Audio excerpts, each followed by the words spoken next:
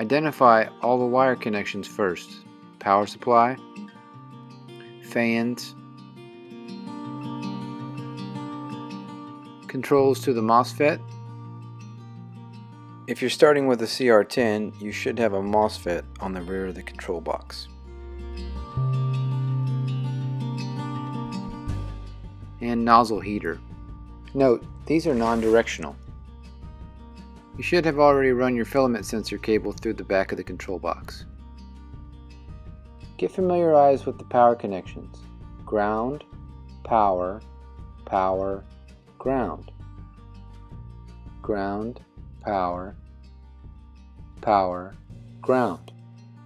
Now take the connections for the fans and slide them into the terminal.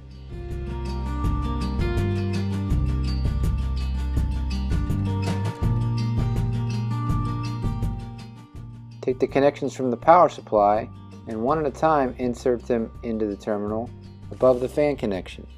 Tighten each one down before moving on to the next.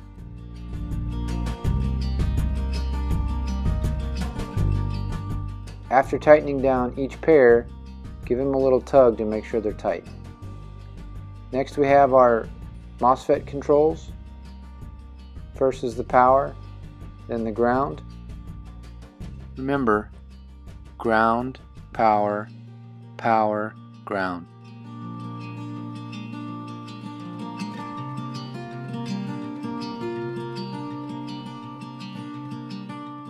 Also remember that the heater connections are non-directional.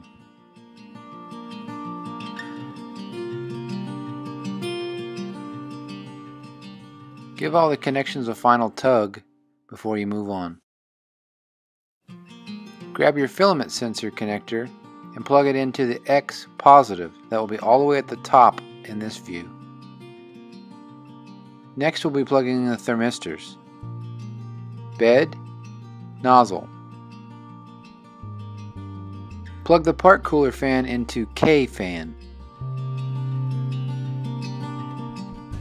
It's not critical that you do these in any order, just make sure you look at the board and plug the correct connector into the correct place on the board.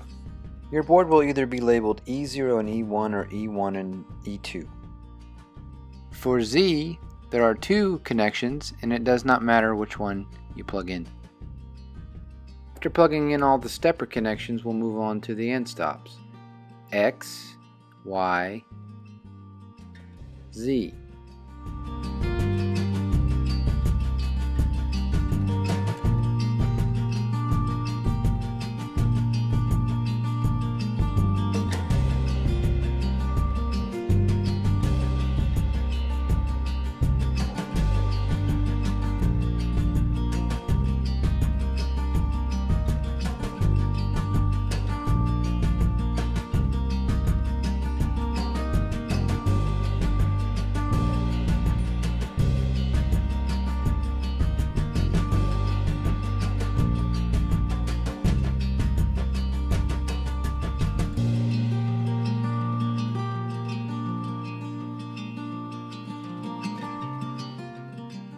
Notice the tape on the back of the LCD. This is to protect the pins from contacting the power supply. Make sure none of these screws are too tight, otherwise you'll have interrupted display. Mark one of the cables with a 1 and mark the other side of that same cable. That way that cable can plug into expansion plug 1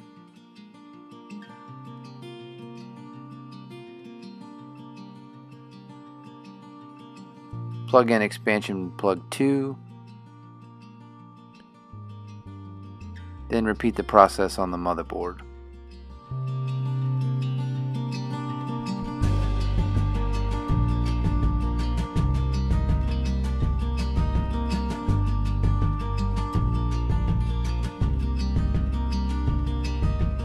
That's it for hooking up all the electronics. Put the control box back together and you should be good to go. If the video was a little too fast for you, that's okay. Hit spacebar to pause. Watch the video as many times as you need.